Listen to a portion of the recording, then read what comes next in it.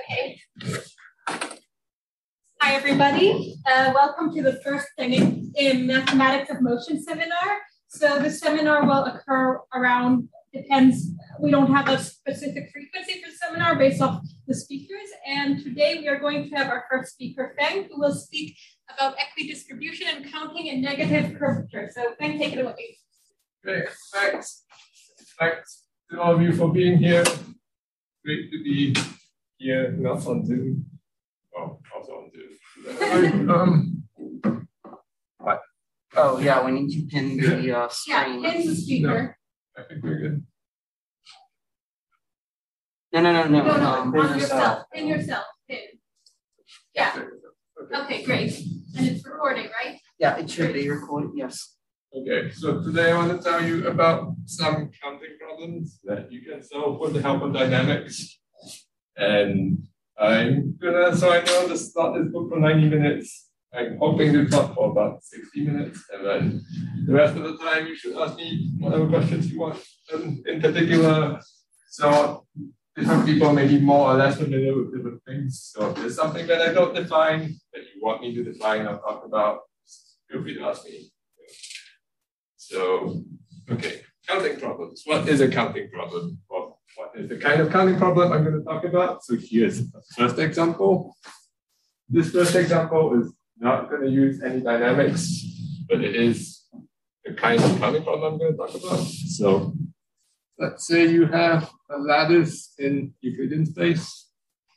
Right, so I write Rn. You should think of it as there's a Euclidean metric there, so I can measure distances. So it can be any lattice. But for the purposes of illustration, you might as well think of just the standard square lattice. Um,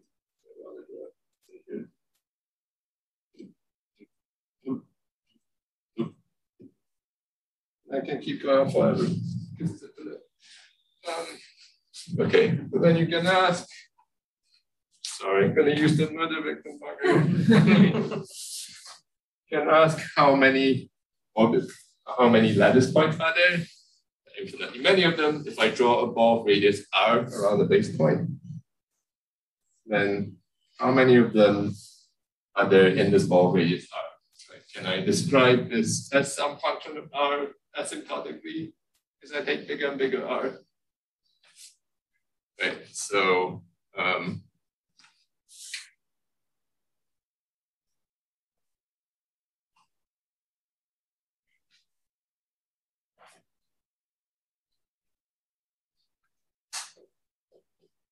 And when I write this, I mean quite specifically that the ratio of this thing, I'm going to call this number n sub r. Uh, so this means the ratio of this to whatever function I might have on the right hand side as a function of r. The ratio of the two sides should go to one as I take r to infinity. Um, and one other comment I want to make is that I say lattice points. You can also think of them, or really more precisely, you should think of it as orbit points.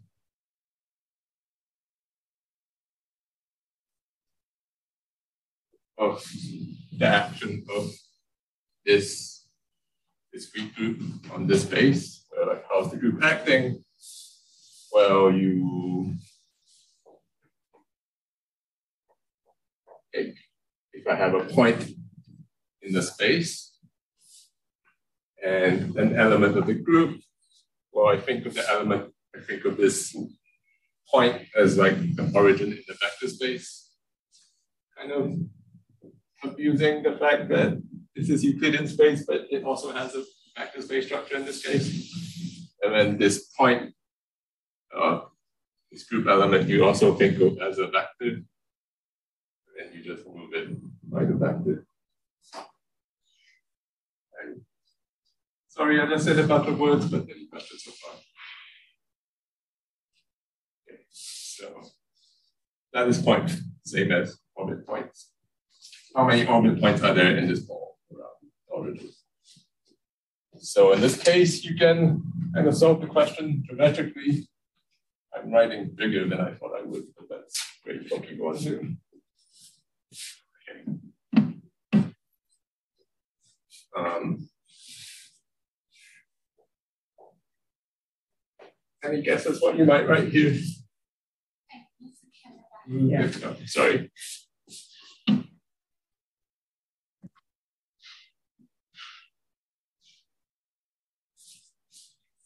No? No.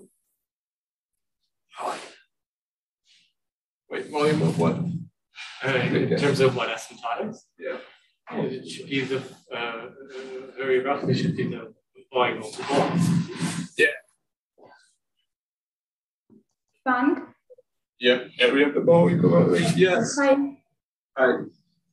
Hi. Uh, can you um, maybe uh, give a little bit summation of the last five minutes?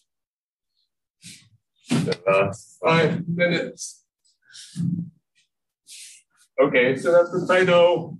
Um, and at some point I said we're going to use dynamics to solve counting problems, but that hasn't happened yet. So now I'm just talking about a counting problem, but the kind that we're going to talk about more generally.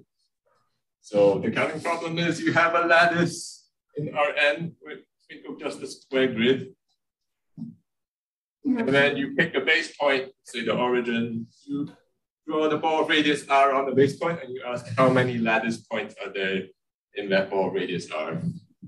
Okay. Maybe some number, and then as you take r bigger and bigger, maybe there's some mm. function in r that describes this asymptotically. Yes. Okay. So yeah, and then I'm gonna add a co-volume here. But this is just the volume or area of one of these little squares, which in this case it is the usual square grid that that's one. Okay, I'll improve this. Also, someone stop me if you don't want to see this proof. No one stop me. Okay, let's go. Ah. So, well, I, I already said the words little square, or it's a fundamental domain for this action. Right. Move the kind of hard to move the board. um, right. That is point, I should say. This orbit uh, in one to one correspondence with translates on this joint translates on the fundamental domain or like all these little squares down here. Right. So each of these squares you can associate, say the lower left corner. No reason I take the lower left, you just have to choose one of the four consistent. Um, and then if you want to see what this is, well, you might as well count how many squares are there in your ball radius are. And now there's a geometric, yes. So, uh, you said that eleven lattice points in the ball, or one, one corresponds to the orbit, orbit points up to the end here, right? Yes. Um, isn't, isn't the orbit just always the end, right? That's what zero there, so. Yes. I, mean, okay, I guess, so these points are in correspondence with orbit points in the ball.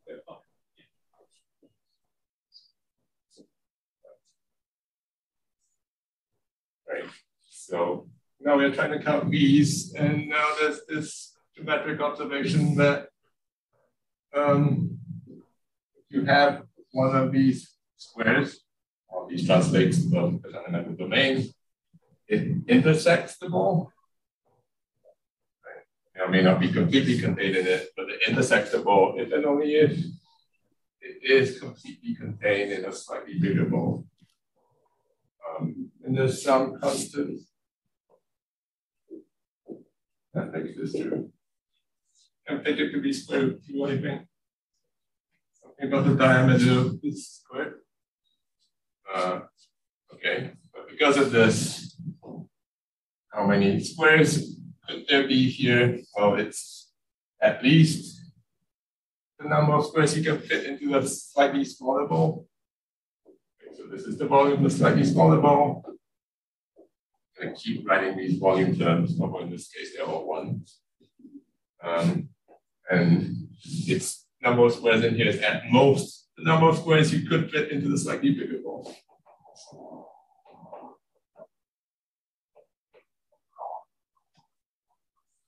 Okay. So now, now you can divide all three sides by pi squared.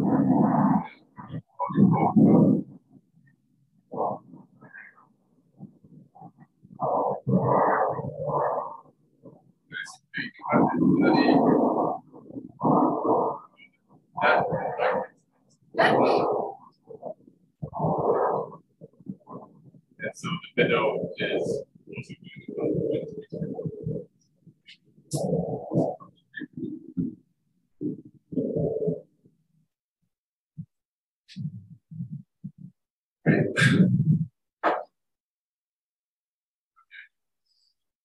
now I'm going to try to solve the same kind of counting problem with a slightly different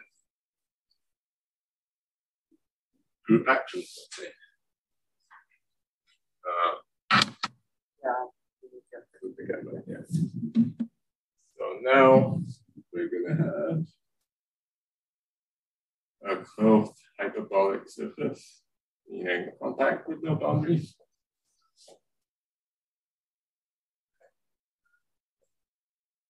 Okay, when I say the words hyperbolic surface, is everyone okay with that?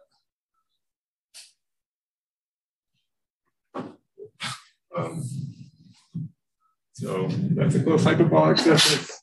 Take the fundamental group of this thing, and I call group gamma.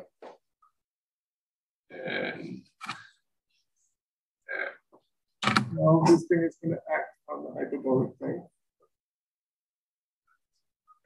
because it's not just a topological surface, it's a hyperbolic surface. Um, and now you can ask the same question, which is, here's model of the hyperbolic plane. Six, seven, eight. This could be a copy of the fundamental domain. Uh, and now you can ask, if I take a base point in the hyperbolic plane. Take a ball radius r in there. Right, how many orbit points do I see in this ball as a function of r? Any guesses for this one?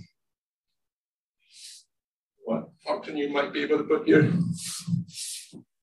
Perhaps the hyperbolic volume, but this is probably not a very good choice.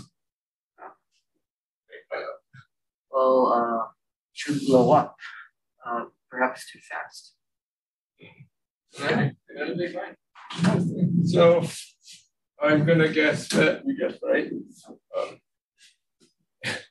uh, yeah, so this is the volume of the surface, which is going to be the quotient of the hyperbolic plane by this group. Yeah, this action. Right. Uh, so that's actually still true. I'm going to upgrade it a little bit this time.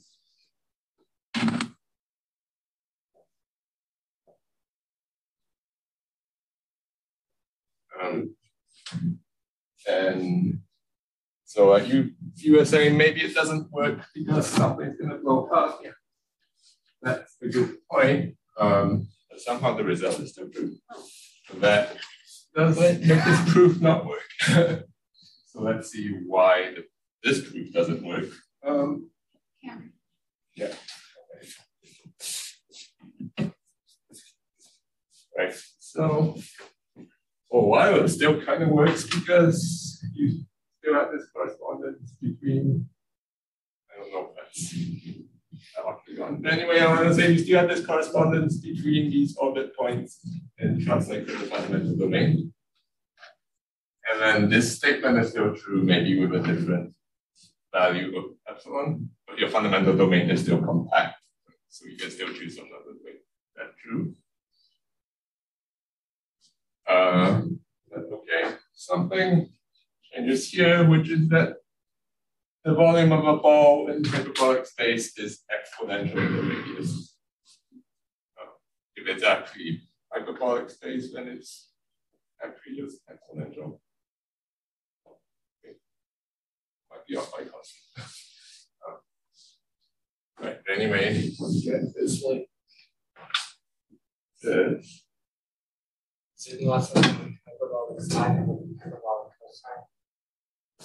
And it's the same order of growth. Right. It's the same Yeah. order of growth. It doesn't really make a yeah. difference. It grows exponentially. I mean, in the sense, if you take the volume of the exponential ball greatest r and you divide it by e to the r and the limit, like that goes to infinity, that ratio goes one. Um, Okay. Anyway, so you have to replace these quadratic functions in radius, which may be volume of a ball data space, with functions that are growing exponentially.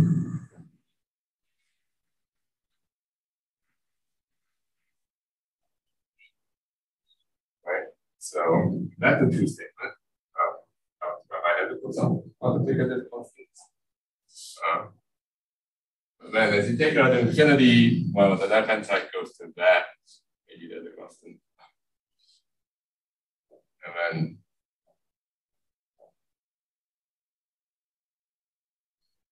the right hand side goes to something slightly bigger. Or some definite amount bigger. So, okay, we've proven something, which is that this thing, this number of orbit points in the ball is bidimensional to this ratio. Actually, we can prove something stronger with a different proof. Uh, okay, questions so far?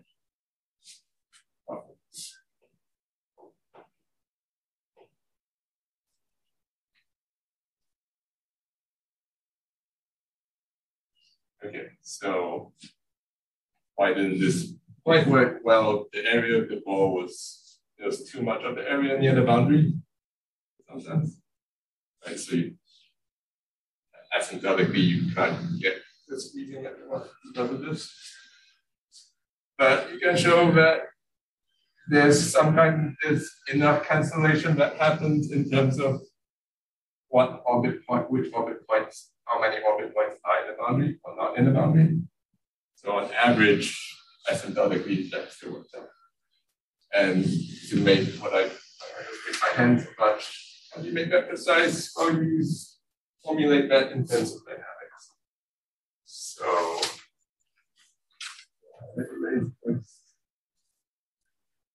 So, um, Mark, uh, uh, I'm just trying to remember.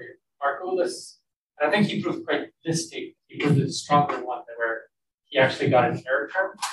Or am I, or am I misremembering? Um, I actually don't know. it's possible that you're right.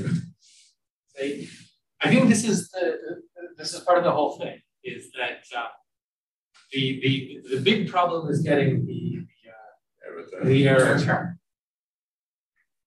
But and it's, been- it's been a while since I thought of this, so I could be, I could be wrong. Yeah, I'm not sure. I can try to say a little bit more about it. Um, okay, so. Yeah, I guess I'm going about this in steps. So there's here's a slightly more precise statement, and then there's an actual, even more precise statement. Um, but what we're going to show is that if you take a plus epsilon ball and you take out the R ball, so it's like epsilon annulus from the R ball. We're going to show it equidistributes in the surface. Or technically, I should say in the unit tangent bundle to the surface. R gets bigger bigger. Um, not sure what I mean by that. Oh, there will be more precise statement. Um, because of this, well, yes, now I'm just writing down something I said a moment ago.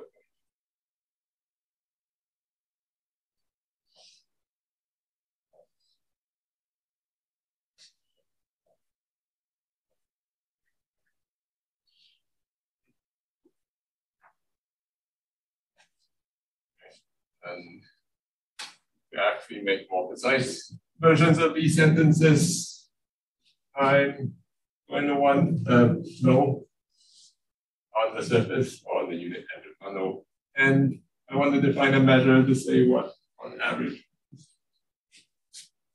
Uh, So the flow is going to be the geodesic flow.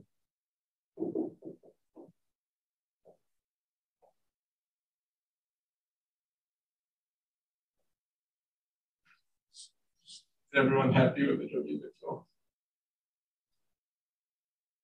Okay. Sure. Great. and then the measure. So does anyone have a favorite symbol for a measure? You. You. I want to use that one. Yeah. Shop for a different measure. Well, yeah. And, Oh, wait. yeah. Um, just, uh, so you think of the flow in terms of the passage space or, or, or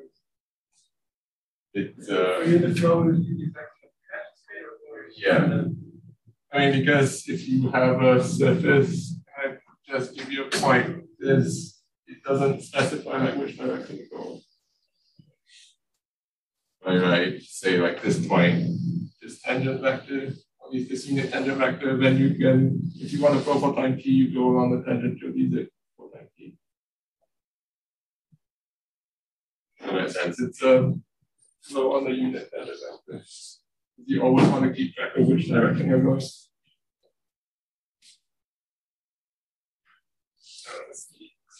Sorry, what's? Gamma. Also write sigma, yes.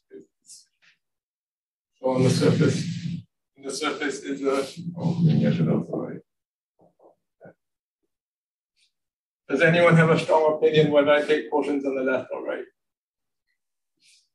Okay, me too. Sometimes you want that. That's my flow. The measure is going to be an isometry group invariant measure.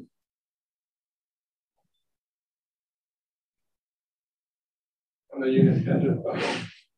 Um, if the next word make any sense to you, it's it's you can think of it as coming from the Haar measure on PSL2R. If those words don't make sense to you, uh, another way you can think of it is you can take the unit tangent bundle to the hyperbolic plane, right? And you can parameterize this as pairs of distinct points on the boundary.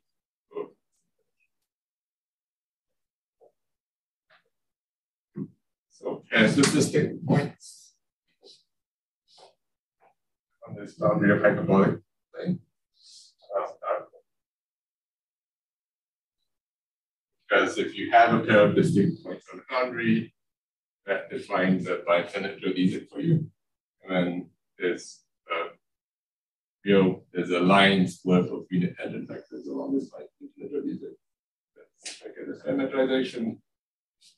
And then in terms of this parameterization, you can think of the measure as locally it's Lebesgue on the boundary plus Lebesgue on the boundary plus Lebesgue on the real factor. This thing is also called the Liouville measure. Liouville measure. No. Not.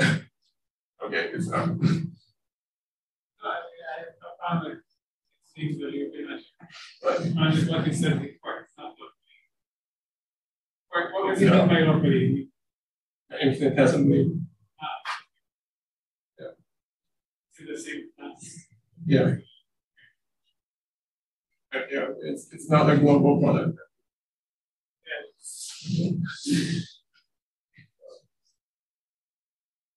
Okay, anyway, that's my measure. That's a flow. I'm gonna going to define a set.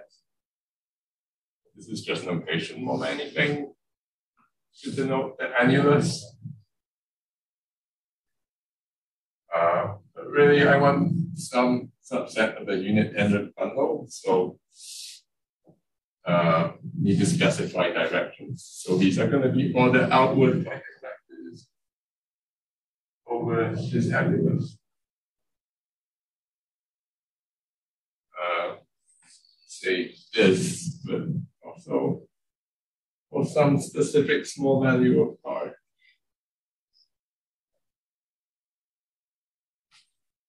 So it's take this annulus and then you can call the outward point.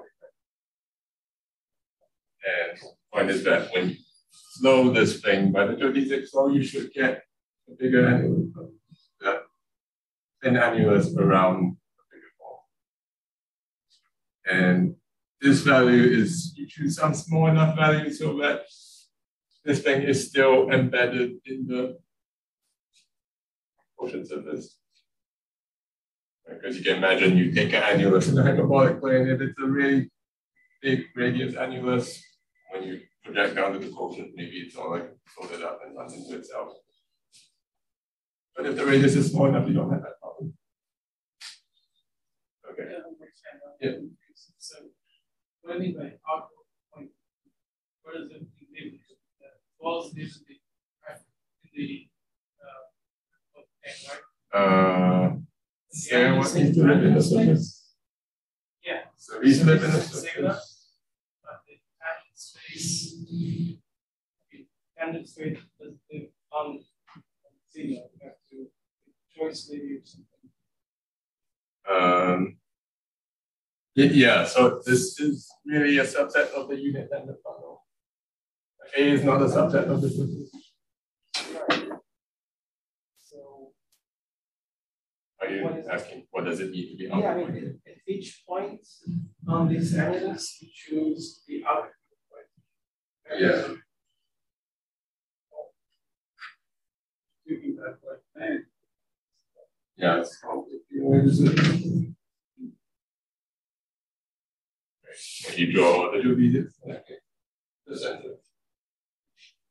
Since it's not really a set, it's not the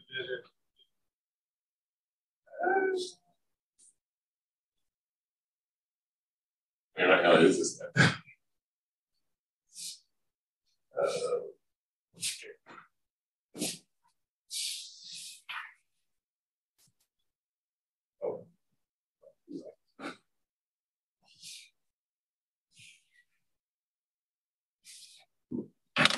And then, um, okay.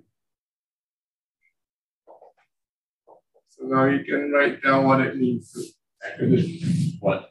I'm gonna write down a statement that translates this in a even more mathematical language. So says that also that sentence is kind of in terms of set, when I'm saying this set equidistributes. The statement I'm gonna write in terms of functions, and that just gives you a bit of extra flexibility. So I'm gonna say for any function, any continuous function on the unit tangent bundle to the surface. I want so that if I integrate the function over some big annulus,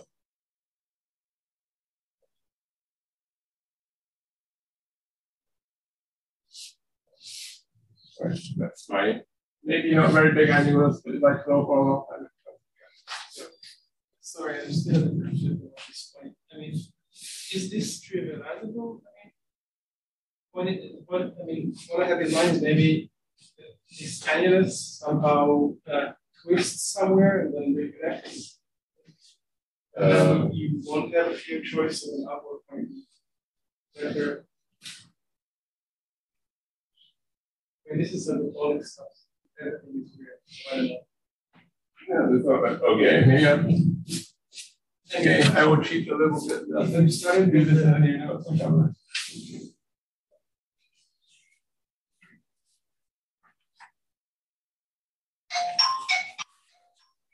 Upstairs, you can have this problem. Yeah, then you, and then you look at the projection and then it's a little bit weird. but You put four values at R, it won't be good. But yeah, it's a good point. You avoid some problems like static. Universal cover, the hyperbolic thing. Uh, Okay, so now I should write this. Um, Anyway, if I do this over big and big annuli, in the limit, the integral converges to what I get if I just integrate over the whole unit tangent bundle. Uh, sorry.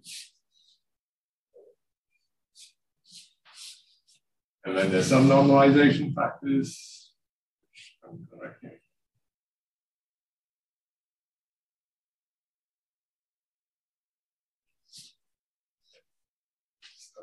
I said, terms of functions, if you want a statement in terms of sets, you use characteristic functions or continuous approximations the characteristic functions. And well, this is you know, a nice way of saying that. Um, okay. There is a quantifier. Very well. This one. Oh, yeah, but A is different. Wait, hold on, which one? Um, no. Everything is, I mean, yeah. So this thing is some annulus, if you show that annulus, you just get to get the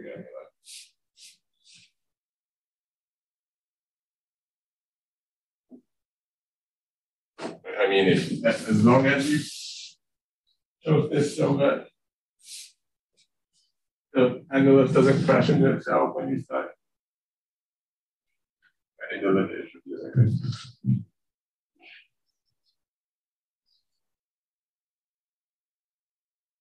It's the same, same statement. F of A R. F of A R. The actions. Um, I mean, Yeah. is an action, right? yes. Yes. Yeah. And an epsilon. Yeah. Where, where we have epsilon doesn't matter and small Um, I'd say small r doesn't matter, but let's say, well,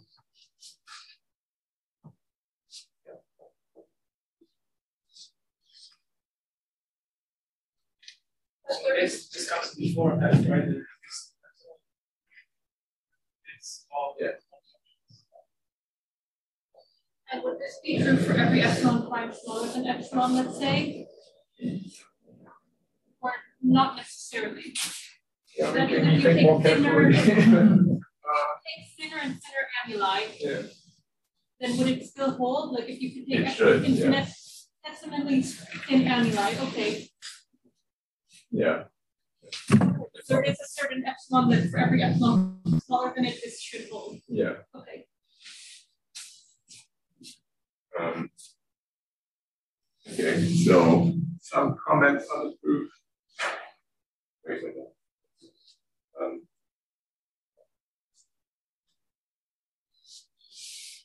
um, right, so first step, which is really the main dynamical ingredient that you show that this flow is mixing respect to this measure.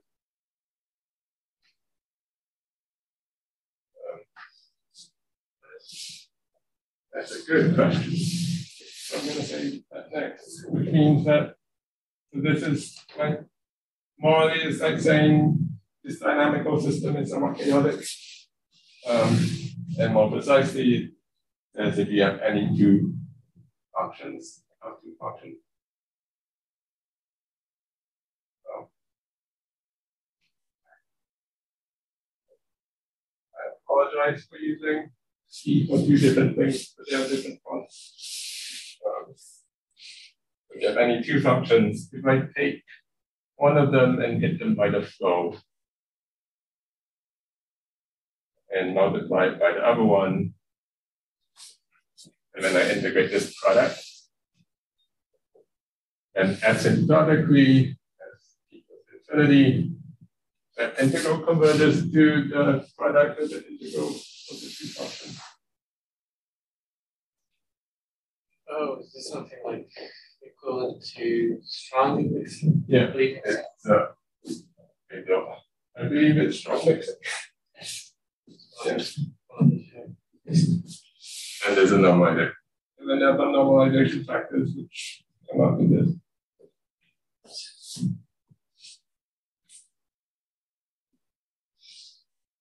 Uh, one over, no? Oh, it's one over and then one over. Hmm, right, so partly in response, my comment response to your because they are kind of deliberately wrote it that way so that you can feed the next thing into that. Um, and right, so to actually prove this, you would be its own talk. There's a bunch of nice geometry dynamics that goes into this. I guess I'm not going to talk about it right now.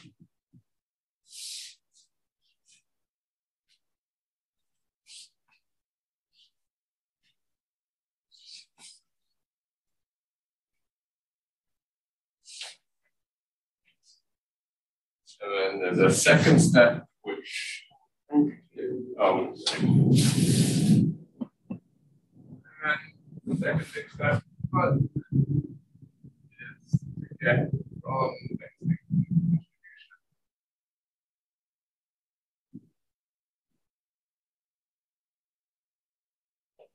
which, depending on how much you wave your hands, is going to make more or less work. But so normally you just take one of these functions a characteristic function. Because then what happens is um, this. So f is one of my functions. This is my other function. And then now that's just like taking the integral of your original function over the annulus.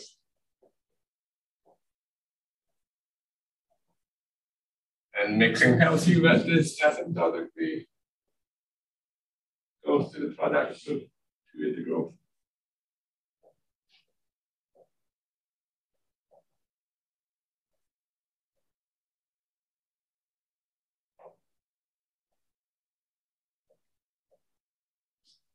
And then there's a that factor out here. The second integral is just a volume. So I'm going to move it here as a volume term.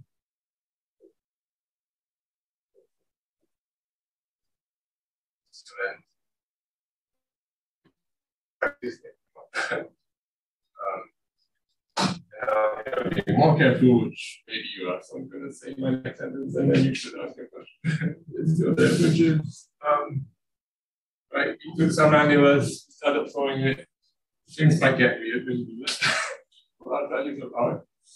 Um, and there's this technical bit which says actually it's okay. So, um, not actually the right lemma. Apologize. It's got away from the um, which basically says that well, if I take this annulus and I flow it for a large period of time, it's still looks like an annulus. It's still something that's within the absolute neighborhood of an actual circle or image of a circle.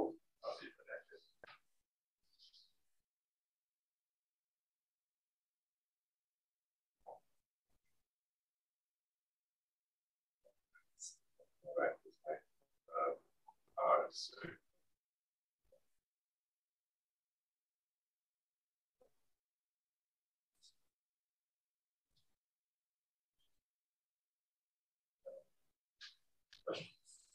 Yes, I have a question that's very slightly off topic. Uh, mixing capturing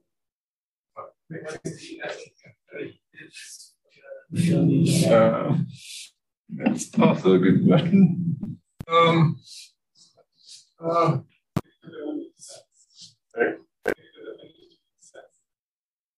uh, maybe, yeah, so if you within characteristic functions, then you can get the definitions of the sets, which probably going to get wrong. um, so if you have two sets, variable sets. Uh, then if you hit one of them with a zone, and you intersect the other, and you look at the measure of this intersection, then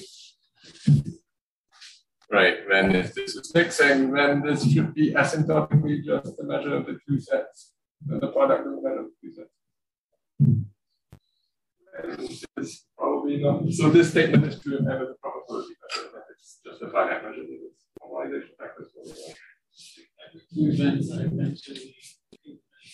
Right. So if you like random variables, you can also at this statement in terms of functions. Think of the functions as random variables, and this is saying the correlation, like asymptotically, the two things become uncorrelated.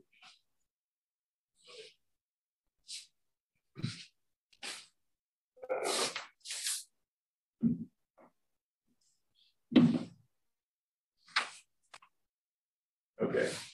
Any other questions? Okay. But this is supposed to be step one, equidistribution. Step two, which I apologize, I'm gonna kind of wave my hand even more because you know, is to get from this statement to the counting statement. So remember, we want to prove this.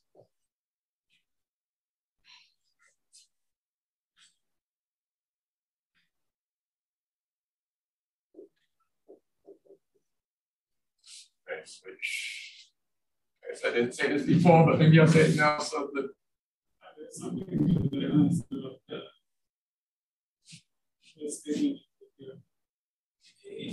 A has measured zero. Uh no, let's why does that song? Still, you're taking all the vectors pointing. Yeah, it's all.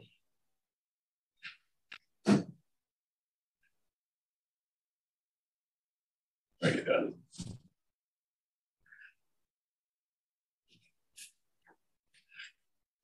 It's to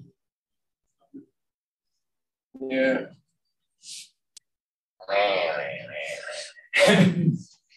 um, okay. Uh, I mean, there are yeah, right. This is what happens not like a. There are some tricks I. Yeah. So actually, let me get back to that. I'll say the next bit. I think it will be slightly relevant. Uh, okay, not this bit. This bit I'm just gonna write. This thing is asymptotically to the r. This thing you can compute using if. Um, anyway, how do you? How do you get here?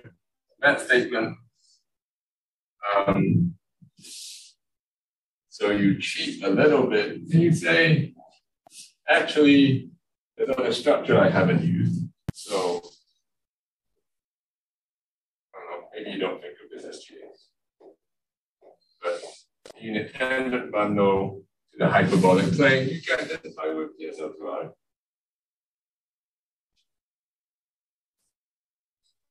Is everyone okay with that? And then when you do, and then the unit tangent bundle the surface is this quotient. And then now there's a better description of this. Okay, which when I come to think of it, is slightly different than what I wrote. But this is sometimes it's the proper definition. This this is this compact group, just like the circle. At least. And then we don't just want a circle, we want something with some areas. We multiply by small neighborhood identity.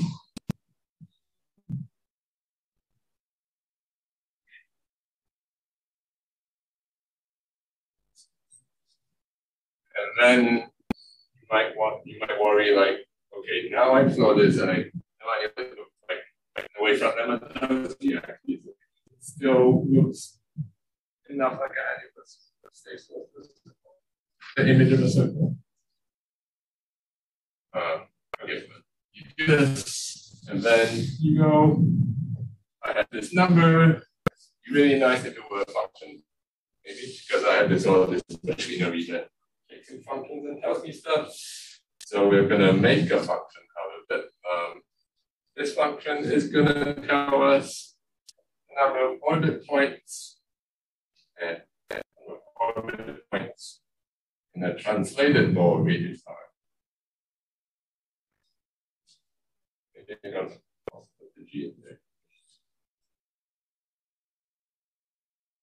Um, what is this assumption? Oh, going to taking elements in here, but this thing, no, I meant identifying. You do this, and then you use the distribution and you write a few lines of integrals. It's not very terrible, but maybe I don't want to write a few lines of integrals like I got to do. So say, I'm just going to say you write a few lines of integrals. Argument sometimes goes by the name of folding unfolding.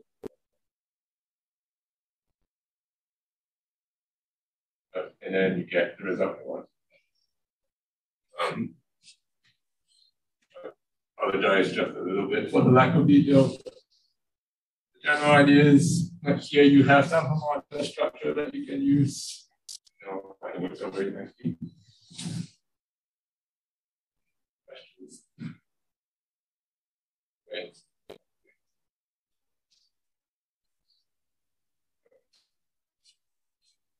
Uh,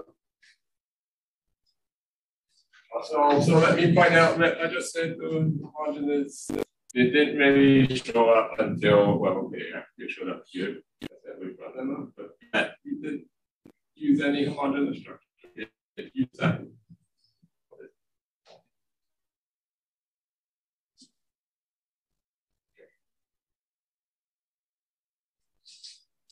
And now I want to say that kind of make the same general idea work without this modern structure. And do an example where that happens. Uh,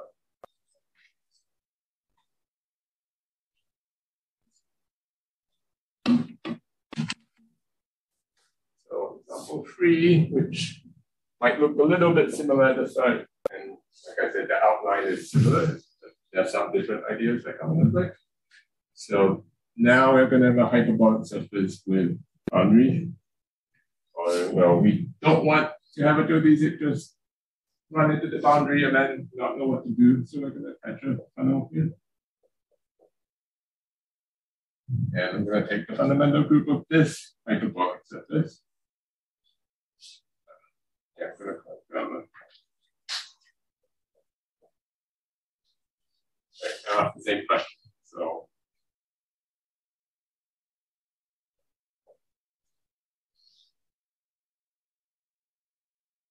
I'm going to ask how many orbit points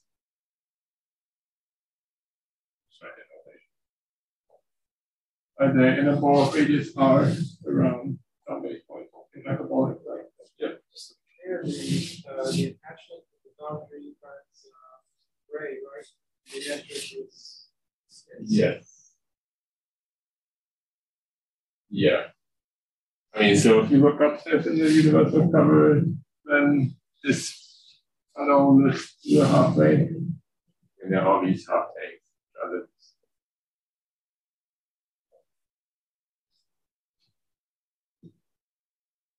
Okay. Any guesses for this?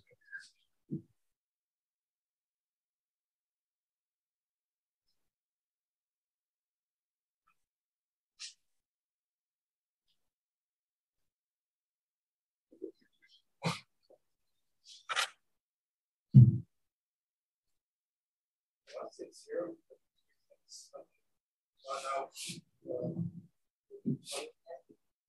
Mm. Yeah. Okay, any other guesses?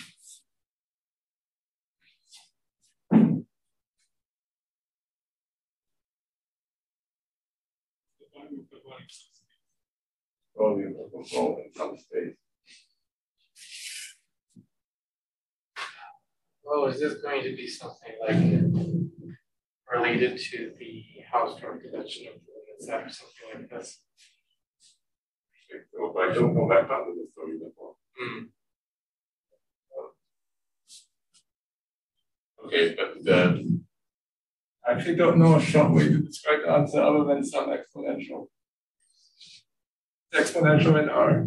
Um, and in some sense, this is right. It's the measure of the ball. It's some measure that's fairly explicit. I guess I'm going to spend the next like maybe 10, 20 minutes describing that measure. Uh, okay, but first observation, that's a pretty good guess because, okay, you can try, this is still the hyperbolic plane, right? So you could try to maybe use the same arguments we just did for the last example. And then you're going to run into the problem that everything just goes away. You understand that if you take some geodesic, take some unit tangent vector, uh, start going on a geodesic with probability one, almost all of them, according to the Liouville measure, are going to eventually just go out the funnel and never come back. And one thing that means is that you can't possibly hope to get mixing with respect to this measure because everything just picks out. You know what happens up there? Well, you probably know what happens up there. You have like control. I get mixing. Um, so, okay, that's a problem. You do it well, you put on your best mathematics hat and say, problem is most things go away. I'm going to redefine most so that that doesn't happen. Um, right. And by redefining most, I mean you construct a new measure so that in this new measure, almost none of your none of your flow lines goes up and like that. Yeah, this we the, uh, the other end, I Everything's gonna follow it. It's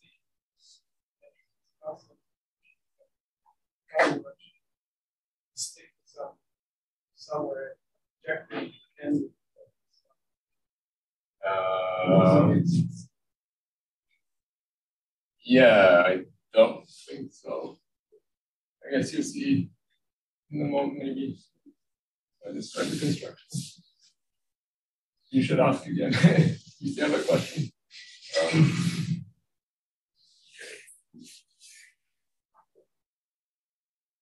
So, uh,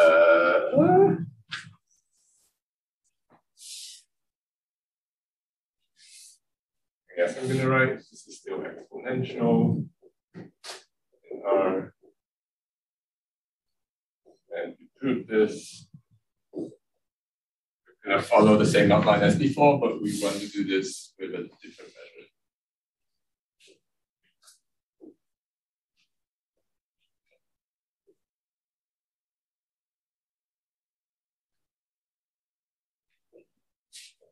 So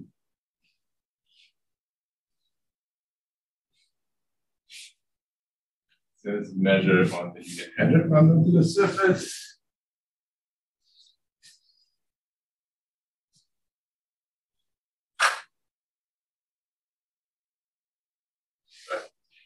It's kind of more convenient to do this way, I'm going to build a measure on the unit tangent bundle to the hyperbolic plane. And try to make sure it's invariant. Okay. So if I build a measure here, that's invariant under the action of the group gamma, then I can push that forward to the measure on the unit then to the surface. And remember that see at some point this thing you can describe as as a distinct point on the boundary.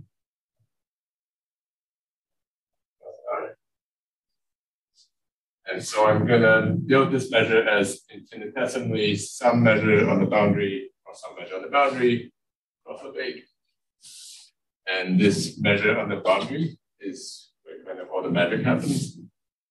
So, right, what was the problem we were trying to find our way out of? The problem was that if you look at geodesics, let's say up here in the universal in the hyperbolic plane.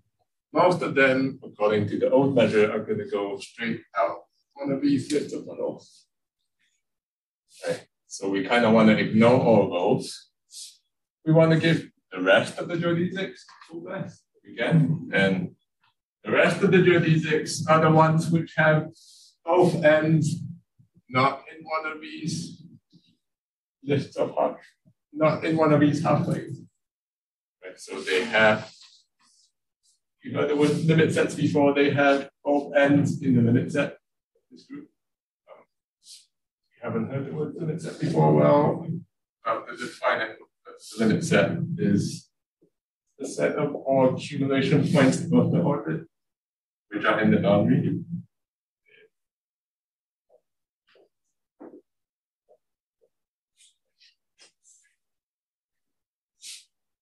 And right, so we want measures which are supported on this subset of the boundary. And in fact, you can do this. So it's going to be a whole family of finite measures, uh, one for each point in the hyperbolic plane.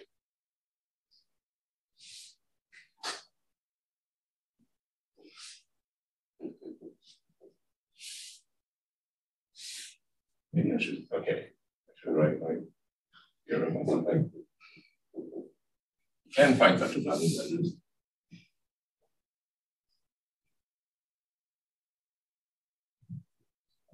uh, there are measures from the boundary. Uh, such that okay, this state, first statement is a little bit loose, but say that if I pick a measure of some subset of the boundary, then this should give me more or less the proportion of the orbit accumulating to that subset. Which orbit? Orbit of this one.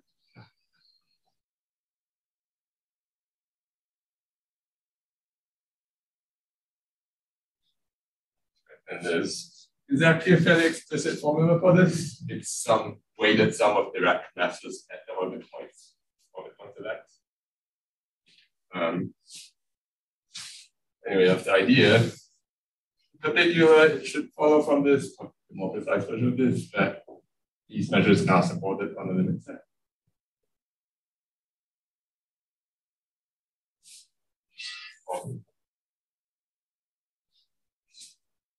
And then family also has some other nice properties. So it's equivariant with respect to gamma, meaning if I take the measure for gamma x, that's the same as the measure for x. Call it like gamma. And then there's also a formula for the random Nikodin derivatives. Uh, which is exponential and there's some constant associated to the group gamma. And then there's something in terms of Busemann functions, which how unhappy or happy is everyone with Busemann function? What? Busemann function. Okay, okay. I I'm not going to define it, but um, you're not that happy with it. What I'm going to say is this is some geometric object associated with the hyperbolic plane more specifically associated with this boundary point of the hyperbolic plane. So you can calculate these quantities in terms of some number of constant associated to the group and geometric data. Geometric data associated with that. Um, and you might look at this and be like, okay, why does this matter? Um, I guess I'm not quite going to go into enough detail to see this, but the point is that, well, the point is what I'm going to write next. So let me write um, which is these cell measures on the boundary. And now I'm going to define the measure on hyperbolic, uh, the unit measure on the hyperbolic plane. Um, and it has a name by this formula. So using this parametrization, so v some point on the boundary, that's the real number. This is going to be one of these measures. is another one of these measures, same measures, times of A. And then there's a constant that goes up here. I'm not going to write what it is. There's a fairly explicit formula for it. It looks kind of like this, exactly that. But the same kinds of objects come in here, and you choose this. A way. Choose these scalar factors so that this measure is gamma invariant. And uh, the point of this is that you can write something like this in terms of the same geometric data constants. So that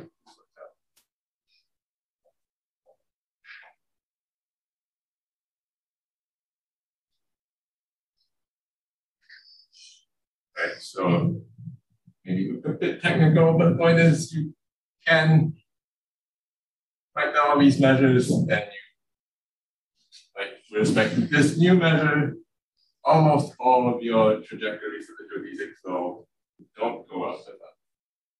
And then you can hope to prove mixing with respect to this measure. And you do have mixing with respect to this measure. Uh, yeah. So you can also on one or you no, uh, that's a good The measure of class measure. Maybe that's. Uh, actually, no, maybe it doesn't. Get back to you. Possibly like after something. Um,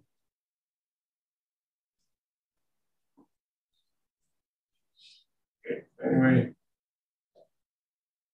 Now let's just say pick some x.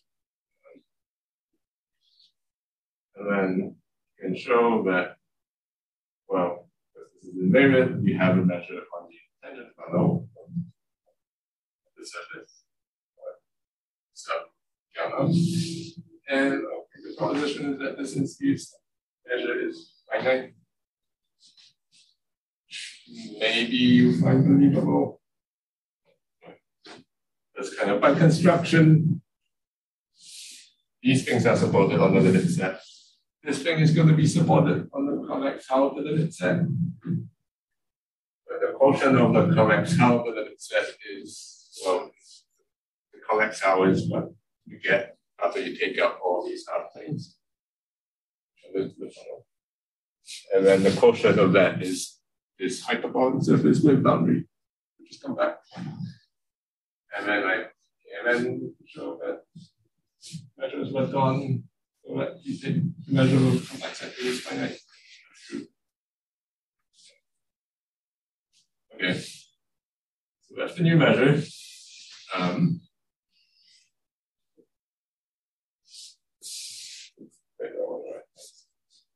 and then you can show that you get mixing with respect to this measure of the geodesic flow.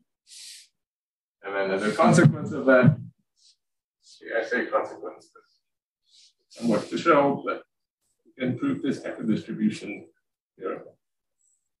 Um, which I don't know, Stanley, you may or may not think about the attribution, but I'm going to attribute this to my for now. Um, here's equidistribution segment, which now I'm going to write just in terms of measures. So here's a measure which is some scalar multiple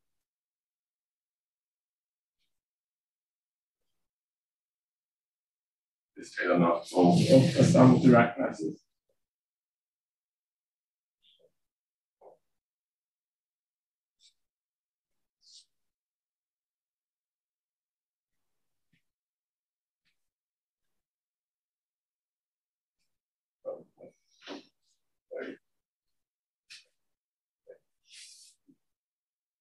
This also depends on x and y.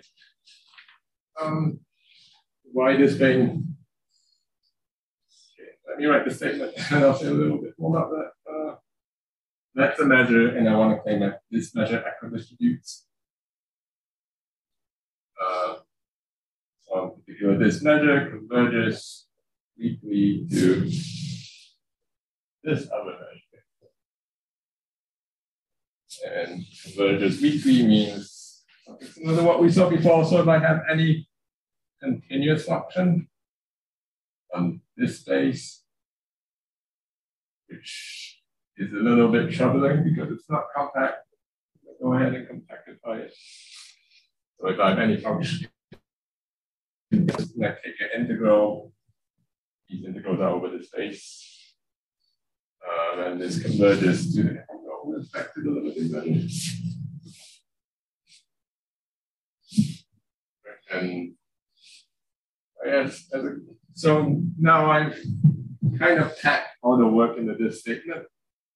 But if you have this statement, then step two previously becomes really easy because now you take the constant one function, you integrate it against both sides, and then on this side, you're going to get this scalar multiple of the number of points, orbit points in this ball.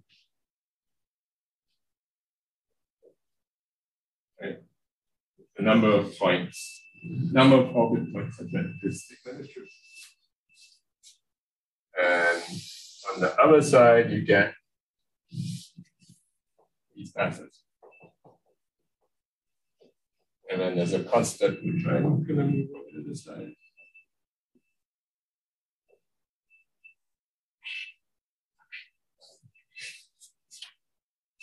The outshot is this. Um, like this resemble previous notation. So number of orbit points in the T border on X is this exponential with somewhat explicit constants.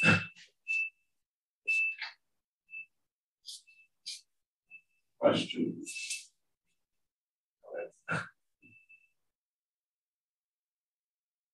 Yeah, so one thing I'll say is that um,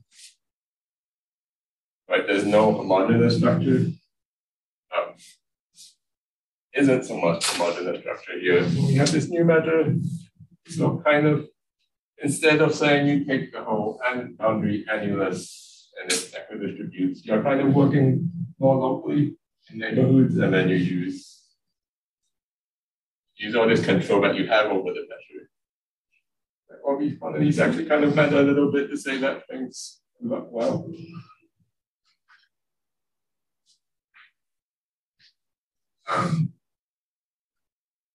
Okay, so now you can make a decision. Do you want to hear about the last example?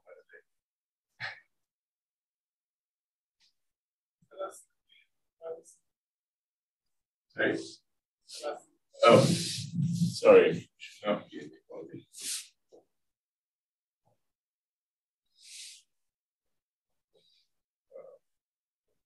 So it says that the number of orbit points in the ball radius here on x is, x is asymptotically exponential.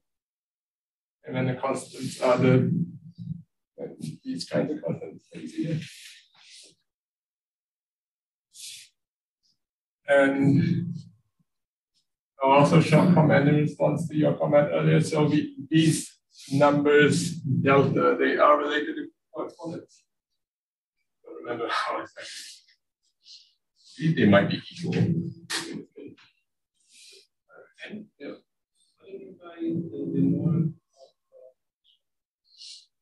Uh, so literally just what happens when you integrate one against the measure. It's a finite measure.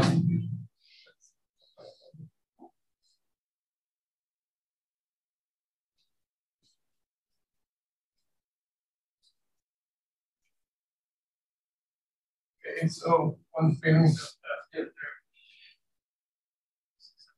the order maybe of delta. Oh, delta. Um,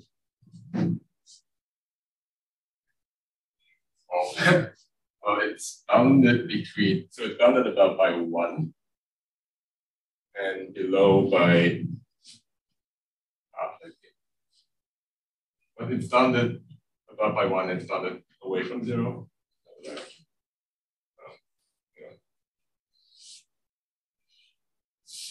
So last thing I wanted to say, well, last example I wanted to talk about was if you set up this, well, I just go away, but now that you have this measure, um, this new measure, and the Fabio measures on the boundary that came with it, you can also try to use them to solve a slightly different counting problem. So here's a closed hyperbolic surface again.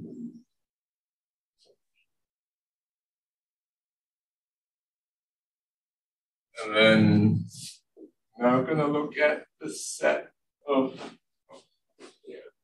gamma is again going to be the fundamental group.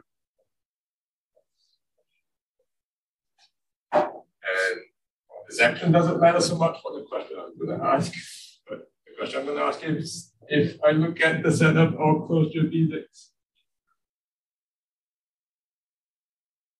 on the surface, for Planck at most L.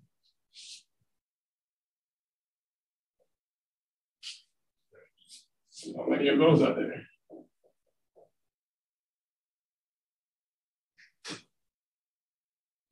Any guesses?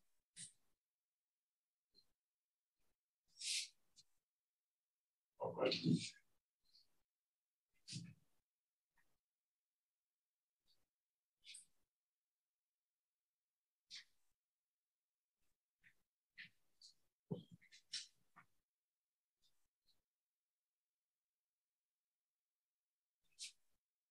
up to day zero. Are lessons there. Okay. Um, then not give you the answer to the end. Uh, but here's a measure which maybe will help us count these things. Okay. Yeah. Yeah, so you're going, going further away from the finish for the practice. Okay. It would seem that uh, the that uh, have embedded the additional product um, surface, and I wonder if you. Yeah. I mean, at the very beginning, yeah, instead of getting uh, you replace the bottom by something interesting for some reason. Yes. Else. Yes. I, I guess in some sense it's so when you do that, you can also think of it as you're modifying the action. to Modify the space you're acting on. Modify the action of the place. And then when you do that, well, the measure, things like that will be you might have a different measure. So maybe you can still use the same approach when you, you get a different answer. Any other questions? Um,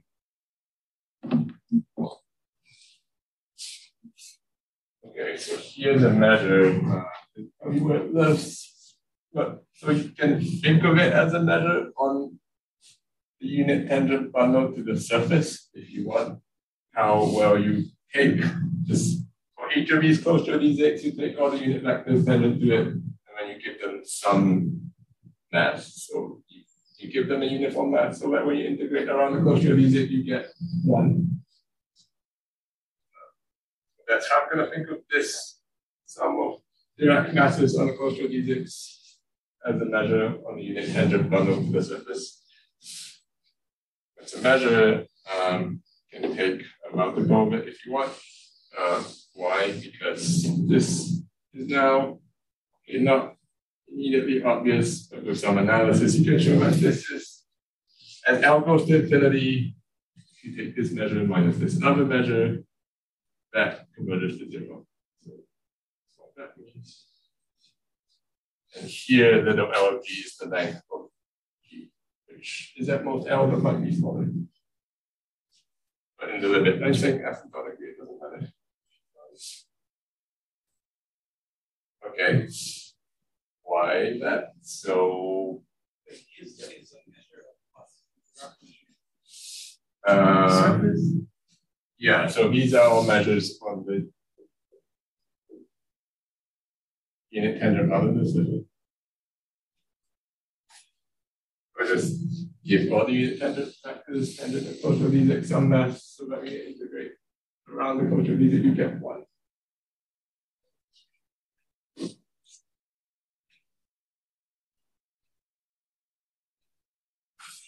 So now this this thing, um, the word lift to a little bit loosely, but lift to this measure on the unit tangent bundle to the hyperbolic plane.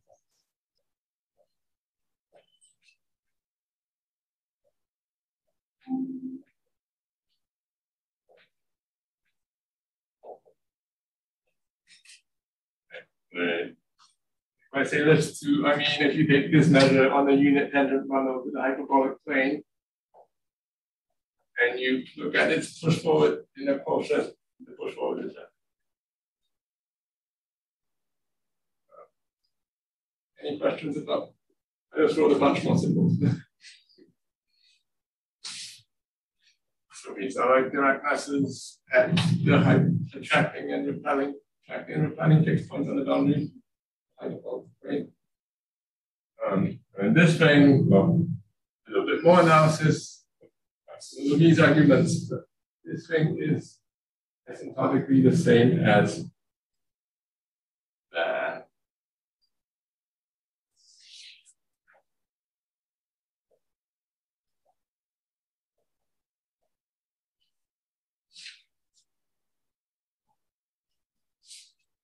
And now you go, yeah.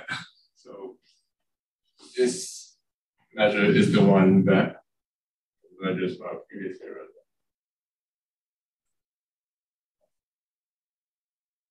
To some multiple of this measure.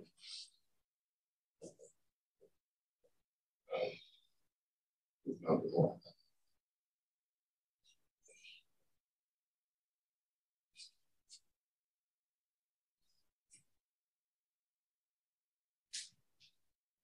Um,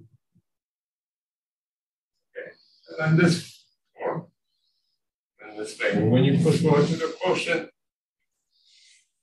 pushes forward to that. With yeah, you a little bit faster lose good constants. With the normalization. If you did things more carefully, you will work out. Um, but the upshot is this measure on the enterprise of the surface converges to that one.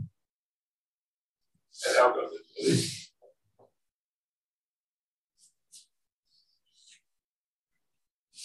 So then, if you integrate the constant one function against both sides of this, what you get on this side is L times this number. And what you get on the other side is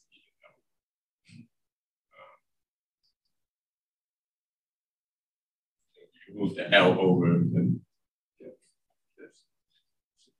And this is again the result of this. Uh, sorry, keep on doing the marker.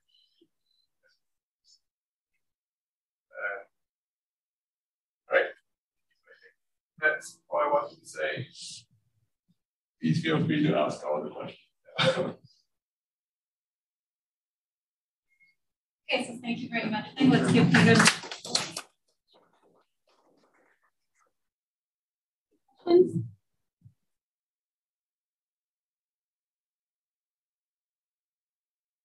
Okay, so if there aren't any questions, then we can thank Feng again Jim for the excellent talk, and we'll meet in two weeks.